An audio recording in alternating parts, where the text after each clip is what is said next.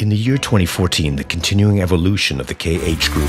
resulted in an innovative operating system for assembly lines and voice controlled sequencing that is perfectly compatible with the manufacturing procedures of clients such as Ford, to whom we continually supply on a daily basis more than 20,000 components, including glass, steering wheels, dashboards, electronic modules, managing more than 500 references in components. The Pick-to-Voice system receives the sequencing order of every vehicle in order to send the corresponding components to each assembly line, thereby reducing as far as possible the reaction time of our engineers to any potential change and guaranteeing the standardization of any operation.